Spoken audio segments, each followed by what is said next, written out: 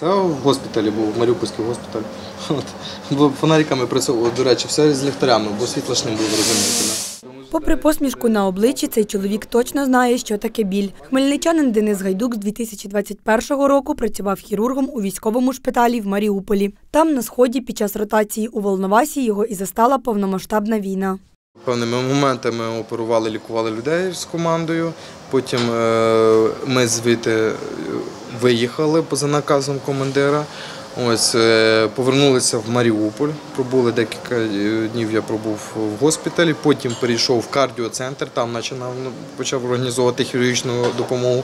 Уже на Азовсталі медик одним із перших надавав хірургічну допомогу. З 12 березня невпинно рятував поранених цивільних та військових. Без світла та в антисанітарних умовах бувало, розповідає, що діти помирали просто на руках. На Завсталі було е, по-різному.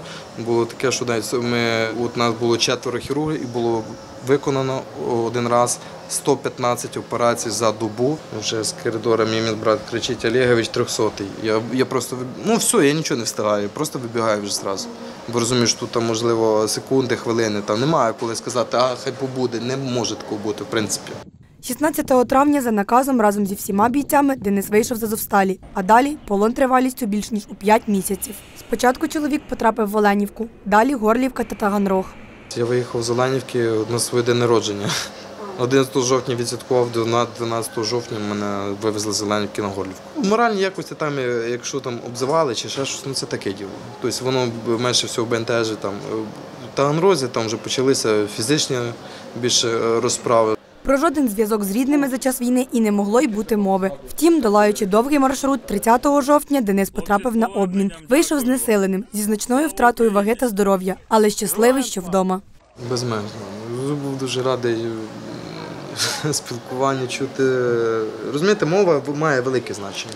Мені дуже приємно було почути рівні мову, рідні гасла, гімн України, наш блакитно-жовтий стяг, не триколори, як ти кажу, так? Потім була тривала реабілітація у столичній лікарні. Далі мужній чоловік продовжив лікування у рідному Хмельницькому. Пройшовши рашистські тортури, Денис зрозумів, цінувати потрібно кожен день та проживати його наповну. Професію ж свою не полишить. Надалі чоловік працюватиме у Хмельницькому військовому госпіталі. Івана Шемчишина, Олександр Попіль, телеканал Перший Подільський.